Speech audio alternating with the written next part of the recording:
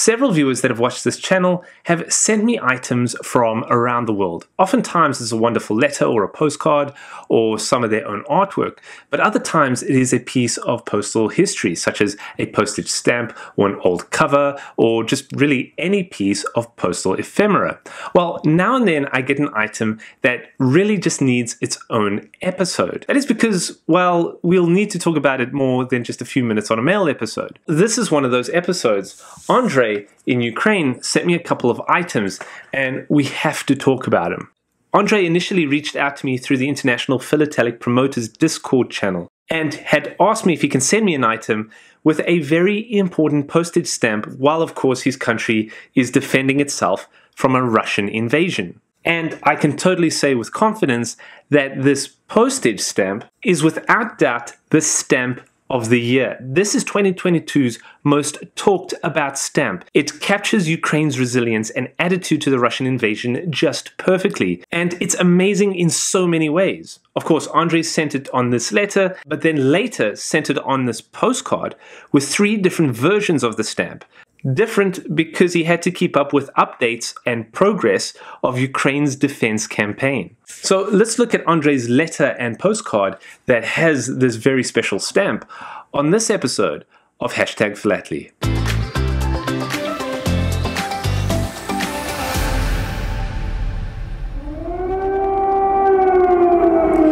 It has happened. This is Ukraine's capital. What seemed unthinkable in the 21st century is now underway. President Vladimir Putin launched an all out assault on multiple cities across the Eastern European nation overnight. Russian helicopters attacking an airport near the capital, Kiev. A democratic country has been invaded by its nuclear armed neighbor on multiple fronts. So, Ukraine and Russia are at war all since the 24th of February this year, 2022. And at the time of this episode, it is still ongoing with no end in sight. Now hearing reports of cruise missile strikes. Attacks on civilian targets are increasing. It is a full scale attack, forcing Ukrainians to decide whether to flee or to fight. And Ukraine is hoping its forces will be able to roll back the Kremlin's war machine as it launches a counteroffensive.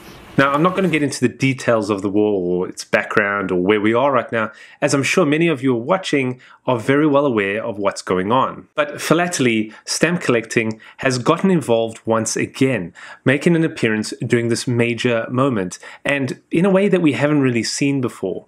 This stamp, released on April 12th of this year, 2022, features a Ukrainian soldier on Snake Island in the Black Sea, giving the international symbol for well, uh, let's go with what Wikipedia calls an offensive gesture of defiance to the Russian ship Moskva. The stamp is so popular that when Andre sent it to me, both of us were concerned that the stamp on the letter could get stolen en route, as there were several people that had claimed that this had happened to them, and they were being listed on eBay for ridiculously high prices. But Andre took the risk and he sent these items through the mail. Now I have two postally used items bearing this stamp. The stamp has been featured in the news, posted by collectors on social media. There are plenty of articles discussing it. I was even interviewed in one, and the Punk Philatelist wrote about it. Of course, Linn's Stamp News can't stop talking about it. So, what is all the hype about this stamp? Snake Island, also called Serpent Island or Zmiinyi Island, is an island that belongs to Ukraine in the Black Sea. Its location is important, sitting just 22 miles or 35 kilometers from the coast of Ukraine. You can imagine that it would be a military advantage to occupy the island. And so on the 24th of February, the first day of the Russian invasion of Ukraine, a Russian patrol boat and a Russian warship approached the island. Ukraine had 13 guardsmen stationed at this island from the State Border Guard Service of Ukraine. And when those two Russian ships advanced on the island, one of them radioed to the men requesting that they surrender, or else. So a Ukrainian border guard responded in an insulting manner. Russian warship go, well, you know, go away, um, but with a bad word.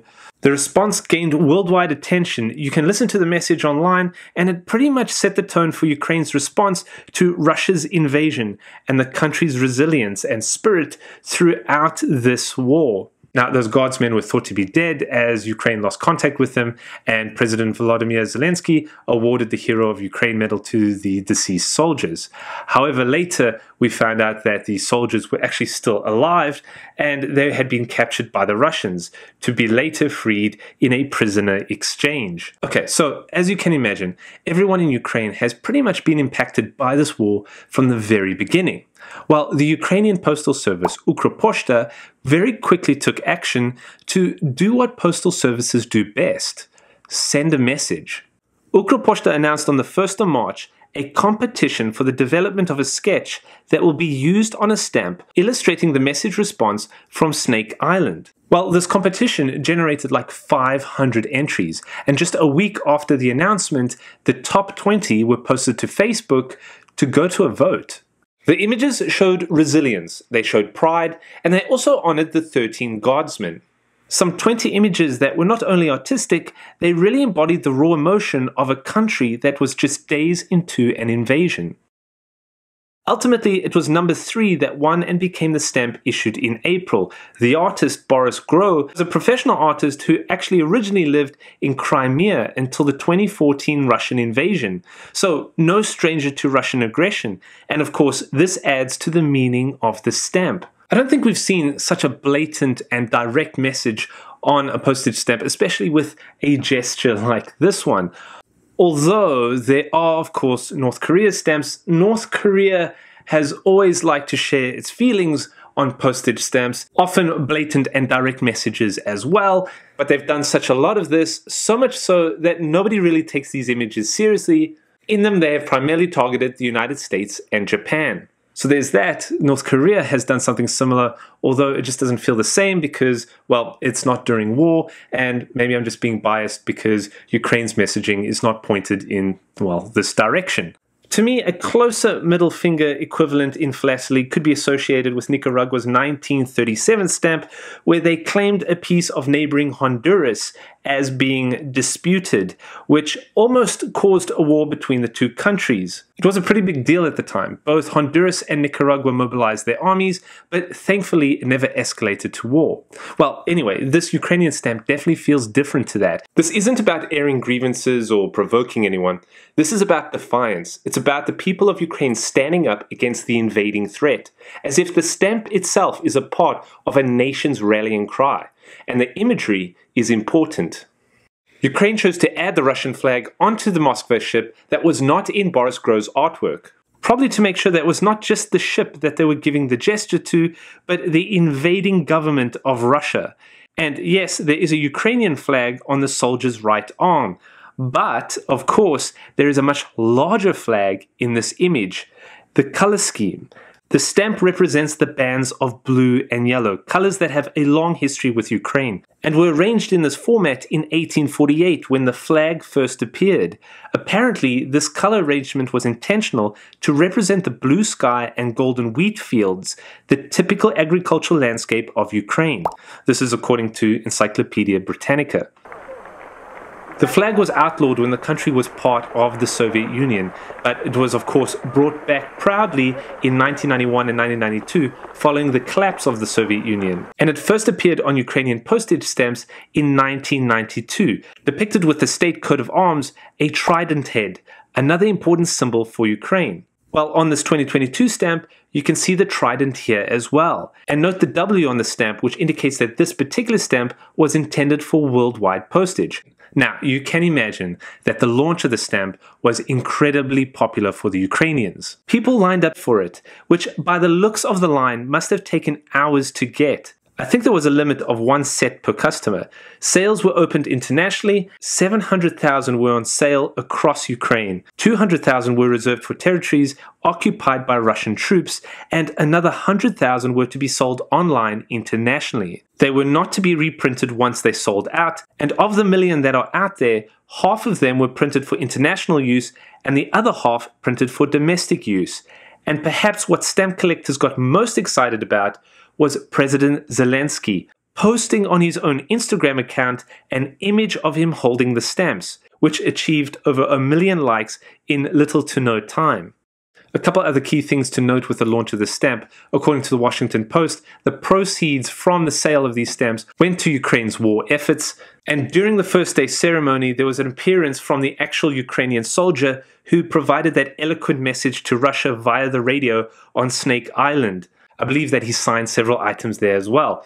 So basically, this stamp and all the hype around the stamp made collectors as well as non collectors eager to get their hands on them. Now, if you're interested in getting one, you have to be careful because apparently there are a lot of fakes out there. So when shopping on eBay or other stamp platforms, do some homework on the stamps and the seller. Also, Stamperia, a third party company that prints stamps for other countries, has been using the image for stamps of Sierra Leone. So be careful to not unintentionally purchase one of those instead. Now, back to this Ukrainian stamp, and of course, the letter that Andre wrote to me. He actually wrote to me telling me about the incident on Snake Island that this stamp was portraying, and how the phrase became a symbol of the resistance of the Ukrainian people against the Russian aggression. And then, pretty much a day later, after the issue of the stamp, the Russian warship was attacked and sank by Ukrainian forces. Yes, this is where things get really interesting, as if the issuing of the stamp was part of Ukraine's plan to take down the ship.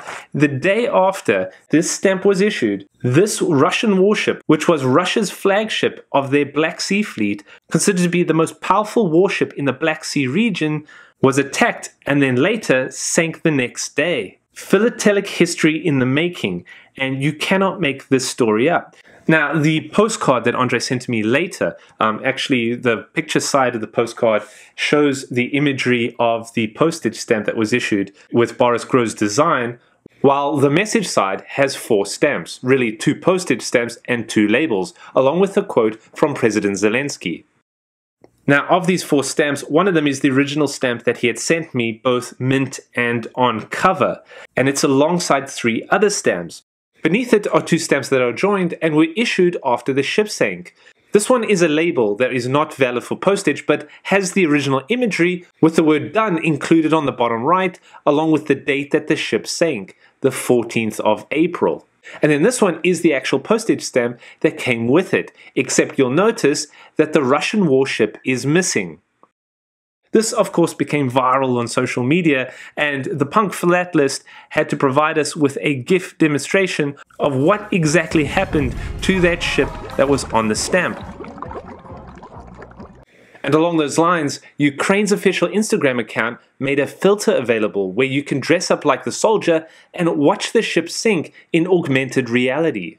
Now, let me be very clear here. I don't mean to celebrate war, death, or conflict. These stamps are already historical artifacts.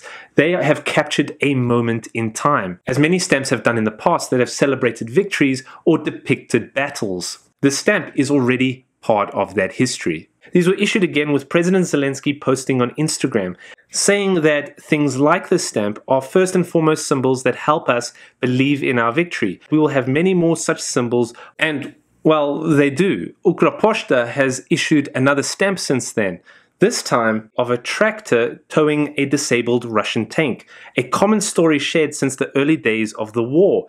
Farmers towing the destroyed Russian tanks off the road. It is another powerful image for the people of Ukraine. Now, Andre was quite clever because he added a fourth stamp to this postcard. It features King Neptune on the sea, and there's that trident again. It's a propaganda stamp from the underground post of Ukraine, an unrecognized postal department that issued stamps from 1949 through the 1980s. They issued Ukrainian non postage stamps that served propaganda purposes. In the philatelic world, this is known as a Cinderella stamp. It's not a real postage stamp, but it is placed alongside real postage stamps on mail so that it can convey a message. Anyway, Neptune is the name of the Ukrainian anti ship missiles that were used to sink the Moskva. According to Ukraine, apparently two of these Neptune missiles hit the ship and were the cause for its destruction. So, Andre, being quite brilliant here, has used a stamp that already stood for defiance and pride to not only stand for that now, but to symbolically communicate the means to which the Russian warship was destroyed. So these postal items that Andre sent to me are just glowing with Ukrainian pride.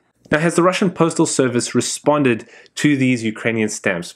I don't think so. It appears that they're issuing the same stamps that you'd expect from Russia throughout the year. Anything from raspberries to Russian heroes, World War II uniforms, but funny enough, tractors. Hmm. As for these postal items, I will absolutely cherish them all. Thank you, Andre, for providing me and my viewers an opportunity to learn about this stamp. I hope that you and your family are safe, and that goes to all of my viewers in Ukraine, well, really all the people of Ukraine. I'll leave a link to Ukrposhta if you would like to order new issues that are available from Ukraine.